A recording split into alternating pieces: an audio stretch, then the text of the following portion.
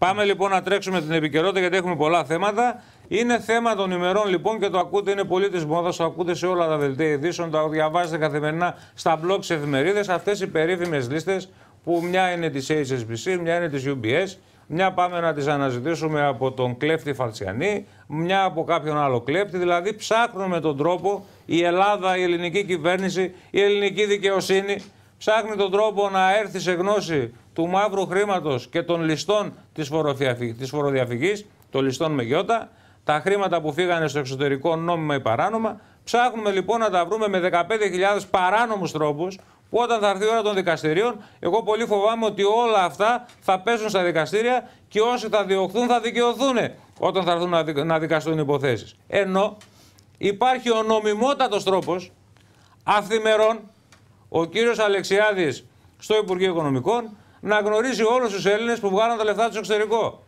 Και ο τρόπος αυτός λέγεται Τράπεζα της Ελλάδος, λέγεται Γιάννης Τουρνάρας, λέγεται πλατφόρμα Target 2, γιατί οποιαδήποτε συναλλαγή γίνεται από ελληνική τράπεζα με τράπεζα του εξωτερικού, οποιοδήποτε έμβασμα φεύγει από ελληνική τράπεζα σε τράπεζα του εξωτερικού, όπου και αν αυτή βρίσκεται, περνάει μέσα από το σύστημα πληρωμών του ευρωσυστήματος που λέγεται Target 2, από την γνωστή πλατφόρμα Target 2 της Τράπεζας της Ελλάδος. Άρα, εάν θέλετε, κύριε της κυβέρνησης και κύριε της δικαιοσύνης, πείτε στον κύριο Στουρνάρα να σας δώσει όλο το αρχείο με τα εμβάσματα από το 2000 μέχρι σήμερα. Να σας δώσει λοιπόν 16 χρόνια εμβάσματα και εκεί μέσα θα τα βρείτε όλα. Όχι Νόμιμα, όμως σε παράνομα. και χαθούνε. Ναι, σε στικά θα δώσει και σε στικάκι, δεν ε, πειράζει. Δεν χαθούνε. Δεν χάνονται αυτά, Λεωνίδα μου, γιατί είναι εκείνες στο σκληρό δίσκο. Ε, δεν φεύγουν αυτά είχε το στικάκι και μην σα μιλήσει κανένας για τραπεζικό απόρριτο. Δεν υπάρχει τραπεζικό απόρριτο σε μια χώρα που έχει χρεοκοπήσει, σε ένα λαό που έχει φορτωθεί τρία μνημόνια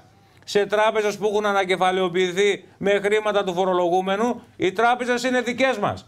Και επειδή εμείς είμαστε οι μέτοχοι των τραπεζών στην πραγματικότητα, άσχετα αν τις έχουν σήμερα άλλοι, εμείς τις πληρώσαμε και τις έχουμε πληρώσει με εκατοντάδες εκατομμύρια. Το αν υπάρχει τραπεζικό απόρριτο θα το αποφασίσουμε οι πολίτες. Δεν θα το αποφασίσει κανένας άλλος. Και αν ρωτήσετε 10 εκατομμύρια Έλληνες, κύριε Πρωθυπουργέ, θα σας πούνε ότι δεν υπάρχει τραπεζικό απόρριτο όταν αυτοκτονούν άνθρωποι, όταν πεθαίνουν παιδιά από, τη σπίνα, από την πείνα και όταν 5 και 6 εκατομμύρια Έλληνες είναι στο όριο της φτώχειας, όταν οι αγρότες βγήκαν στους δρόμους, όταν οι δικηγόροι βγήκαν στους δρόμους, βγήκε στους δρόμους όλη η Ελλάδα. Άρα δεν υπάρχει τραπεζικό απόρριτο. Να πάτε λοιπόν στον κύριο Στουρνάρα, εκεί στην Οδό Αμερικής, που είναι η Τράπεζα της Ελλάδος, να σας δώσει το αρχείο του Target 2 και εκεί θα πάρετε έναν ένας όλους αυτούς που βγάλαν χρήματα στο εξωτερικό και με έναν νόμιμο τρόπο απόκτησης των στοιχείων τους και των εμβασμάτων θα μπορέσετε να κάνετε τη δουλειά σας σε 24 ώρες. Δεν χρειάζεται να παρακαλάτε κανένα φαλτσιανή.